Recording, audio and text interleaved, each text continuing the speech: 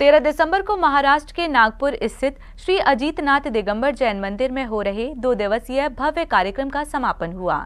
इस अवसर पर सकल जैन समाज नागपुर ने सम्मिलित होकर धर्म लाभ लिया। आचार्य श्री सुवीर सागर जी महाराज सत्संग के मंगल सानिध्य में दो दिवसीय भव्य कार्यक्रम का आयोजन किया गया। महाराष्ट्र के नागपुर स्थित केली बाग रोड के श्री अजीत नाथ दिगम्बर जैन मंदिर में 12 दिसंबर से शुरू हुए दो दिवसीय कार्यक्रम का समापन 13 दिसंबर को बड़े ही हर्षोल्लास के साथ हुआ।